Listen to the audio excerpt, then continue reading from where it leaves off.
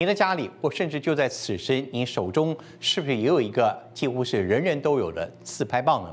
的确，自拍棒的问世之后，它改变了我们跟照片背景之间的关系，改变了我们照片的组合，甚至有人说，它把我们的自恋又提升到了一个新的阶段。你喜欢它吗？大部分人都说是的，但是也有人觉得它很讨厌，甚至成为公众场合的一种骚扰。难怪如今有些国家。特别是一些艺术馆或文化活动，甚至是游乐场，开始要禁止使用所谓这种自拍棒。自拍棒究竟怎么来的？我们考据了一下，大概它最早的起源，把一根棍子跟摄影机连在一起，可以回溯到上个世纪的八十年代初期。十年前，一位加拿大人开始大量的把它推广为商业利用。当然，后来制作的地方很多。不，我们可以确定的是，这个东西是来自于亚洲人的大量使用。然后推广到西方世界，看来还是我们比较聪明，或者我们比较自恋一点。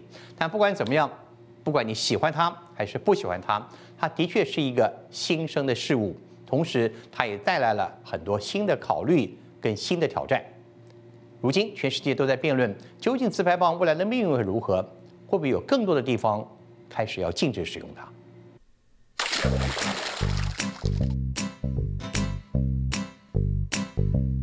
自拍在二零一三年，它是年度关键词；到二零一四年，自拍棒更成了二十五个最佳发明之一。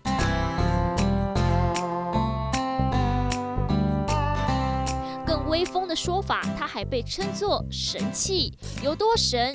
山上、海底、雪地、沙滩、城市、乡村，还有颁奖典礼。What are you talking about? I'm a busy man, okay? Look, I gotta be at four places at once. 只要人可以到的地方，自拍棒无所不在。即使在这，俄罗斯三个小伙子爬上香港三百四十六公尺高的中环中心大厦，没有安全防护，往下一看，脚底发麻。这时，自拍棒一伸。一拍成名，不止如此，最近这玩意儿还被某个大人物相中。涂舌头扮鬼脸，没看过这样的美国总统吧？两分钟的政策宣导短片揭露了，原来奥巴马也有自拍神器。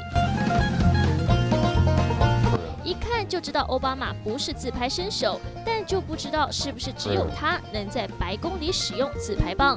因为即使神器再神，有些地方因为安全理由，他可神不起来。美国最近不止一个博物馆下令禁止自拍棒。He's in the background taking um taking a selfie stick, and the lady's like, "No, stop!" I was like, "Whoa!" 纽约现代艺术博物馆是其中之一，理由为何？看看里面开放式的艺术品，不难理解。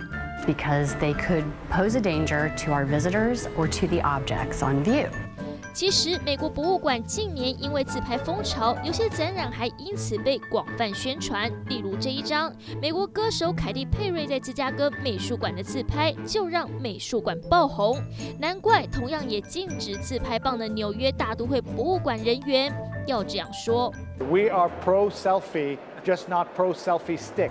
不得不敬，因为去年光是耶诞节，美国就卖出十万支自拍棒，它成了最热门、非有不可的礼物。但神器真的每个都无敌吗？美国专栏作家比较了十四个价格不同的品牌。But this one, under twenty dollars, lets you take a picture with just a press of a button right on the pole.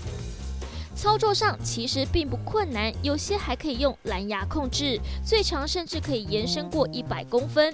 但是三十美元以下的产品实验后发现品质不太坚固，有的还不能受潮。如果你不想花钱买也没关系，在某些饭店，像是休斯顿的四季，Would you like to borrow it？已经提供和雨伞这类必需品一样的外界服务，如此受欢迎，难怪有人说发明这自拍棒的人简直是天才。一九二六年，这张照片曝光，令人怀疑，难不成八十多年前就开始自拍了吗？比较可以肯定的是，一九八三年，美能达这台相机出现了连接棒子的设计，前头还有个贴心的小镜子，方便自拍。后来，在一九九五年，日本的书籍也出现类似身影。有趣的是，自拍棒被视为无用的发明。一直到二零零五年，加拿大人弗洛姆创作出一种伸缩棒，用来连接相机。At your camera, if you ever traveled and you want to be in photographs, you either have to hold your Yeah, arm out, yeah, hold yeah. your arm out, or you ask a stranger for help. Yeah. Stranger could run away with your camera. They could drop your camera. They might have suntan lotion on their hands, or you're asking them to take your picture, and then you're saying, no, it's the other button. Then he takes the picture when you're doing that. 然而，透过谷歌搜寻记录追踪，自拍棒这个风潮还是从东方开始，后来才红回西 方。怕麻烦别人的日本人。自拍棒自然受欢迎，自己拍即使 NG 七次也不会不好意思。他们还做个测试，五十人凑过来用手自拍和用自拍棒自拍，可以容纳多少人？答案是用手自拍看到脸的有十六人，自拍棒则是四十人。Take me whole family and yeah, 雷门 it's great. 但若是进到这里，日本东京迪士尼可是在很早就禁止使用自拍棒。比较令人意外的是韩国， The Korean government says that it's concerned that some Bluetooth selfie sticks may interfere with industrial, scientific, and crucially medical equipment. So it's cracking down to ensure that every stick and retailer is registered and certified. 韩国政府来真的，偷卖违法自拍棒可处八十四万台币的罚金，还会坐牢。然而消息一出，不少人认为政府管太多。而在这之后，新加坡因应新年人潮，也下令滨海湾还有特地夜店禁止使用自拍棒，搞得神器连续碰壁。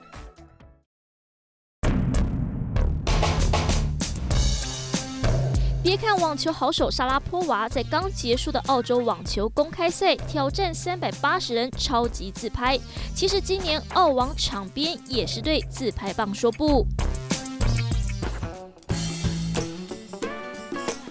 就连十七号才结束的巴西里约热内卢嘉年华游行中，神器也被规定不能出风头。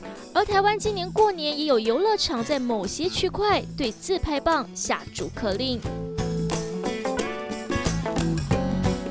反观在英国限制的并不多，但可不是人人都爱自拍棒。这位老兄特制一个无敌长的自拍棒，走上街头，伸进巴士窗户内，还把镜头对准了双层巴士的乘客。他没说如此大动作引人注意的目的为何，或许是在讽刺自拍棒这东西实在蠢到不行。